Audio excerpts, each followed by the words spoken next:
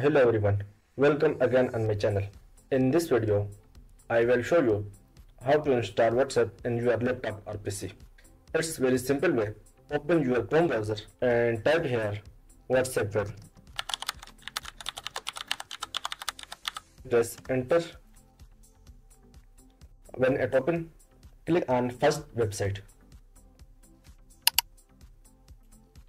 It will take some time to open. When it open, click on three dot on right top corner.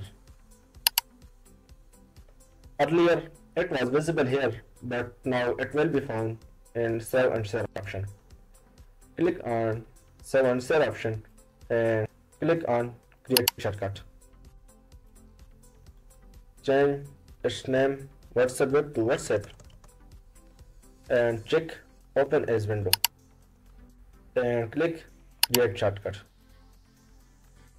WhatsApp shortcut has been created in your PC.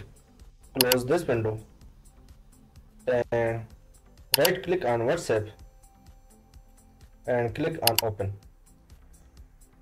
After that, you have to do some more setting. Open WhatsApp in your mobile phone and click on three dot on right top corner and click on link devices. Again click on link devices and click on use mobile data. And scan barcode that is present on your desktop screen. That's it. WhatsApp are installed in your PC.